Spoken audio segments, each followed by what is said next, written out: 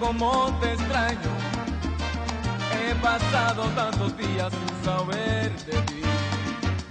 Aquí todo es tan diferente, no conozco ni veo a la gente. Me levanto y me acuesto.